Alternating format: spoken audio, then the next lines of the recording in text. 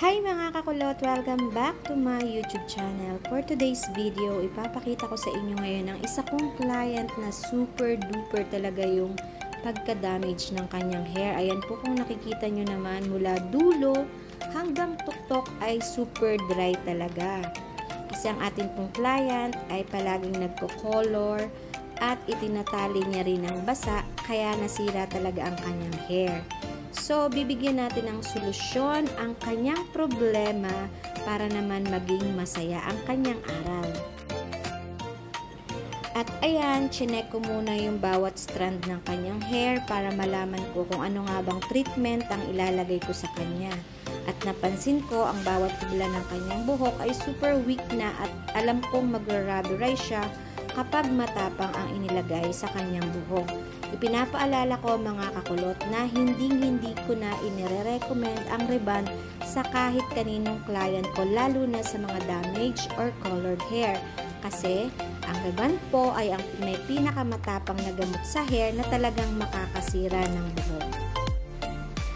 Nung chinek ko nga po ang kanyang buhok, sa nakita nyo naman talagang damaged na talaga, ang gagawin ko po sa kanya ay Brazilian Keratin with protein and collagen para kumpletong kumpleto po ang saya at ang treatment na ilalagay ko. At ayan na nga po mga kakulot, hindi ko na naipakita sa inyo kung paano ko nilagay ang hair color sa kanyang buhok. Binago ko po yung kanyang hair color para naman maging healthy at maganda ang kanyang buhok. At ibababad ko po muna siya ng 30 minutes and then after nun, babanlawan ko siya at lalagyan ko na ng treatment ang kanyang buhok. At pagkatapos nun, ibababad ko ulit ng 30 minutes at paplansyahin ko siya ng tuyo. 2,000 years later. Eto na nga mga kakulot, ang final result ng kanyang buhok.